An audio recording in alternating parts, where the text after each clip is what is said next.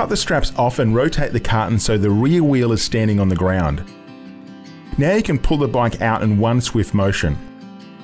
Once the packaging is removed, double check that you have all components. The common parts you'll see are a saddle and a seat post, pedals, front wheel and a user manual. Other parts will vary depending on the type of bike you have.